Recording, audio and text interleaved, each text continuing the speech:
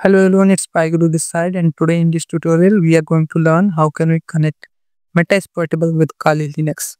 So for this what we have to do, we have to just turn off both our Kali Linux and Meta Portable. We will open CMD on our Windows machine and here we will type ipconfig okay and then we'll check for our this VirtualBox IP address.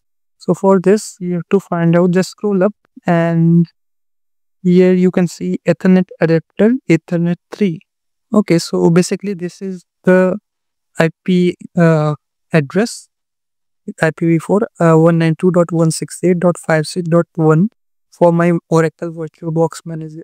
So what we have to do we have to give both of these machines a common uh, ip address uh, so that they can interact with each other.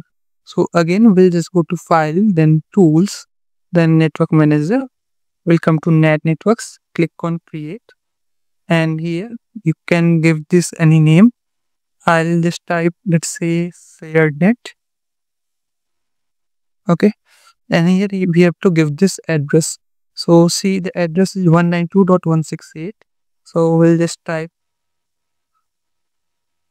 192.168 after that i'll just type 100.0 okay and you have to enable uh, DHCP and after that just click on apply.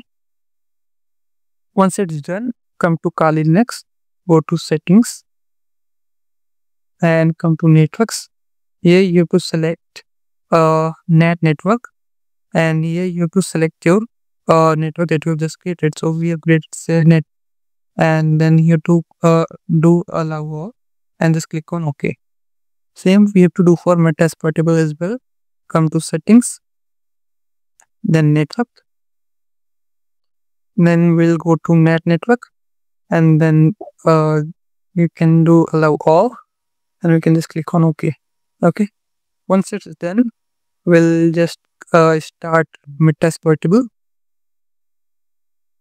Okay? I'll type if config and initially it's uh, so see it was 10.0.2.15 in the last video. If I hit enter now, I'll be having a new address, uh, which is not updated, I guess. So I'll have to restart it. So just wait a second. We have to just turn off this device. So power off this machine.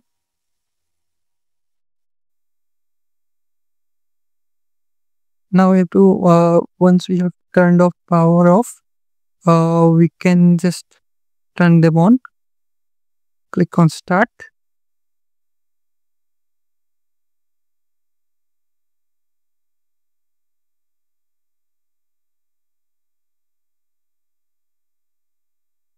Well log into uh, Meta Portable MSF admin. MSF admin. I'll try ifconfig and here we have the new address 192.168.147.6 uh, let's wait for kali. Here we'll have to give the username and password. So username is kali and password is also kali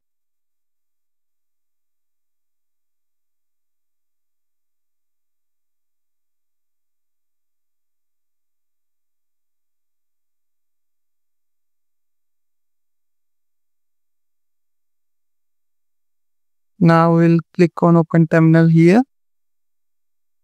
And I'll type ifconfig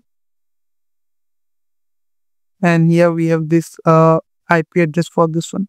192.168.147.4 okay so let's try to ping our Meta Portable machine from Kali Linux so for this uh, I will type ping and then the IP address of our uh, Metasploitable machine. So 192.168 dot 147 dot 6 hit enter and see we are getting response from this machine